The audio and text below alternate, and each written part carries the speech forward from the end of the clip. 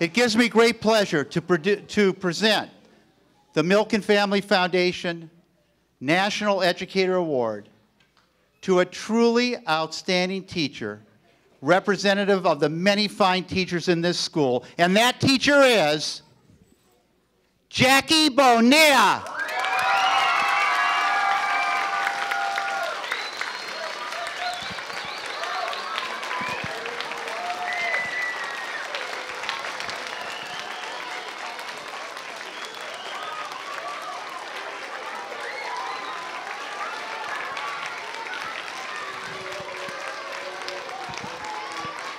Congratulations. Are you okay?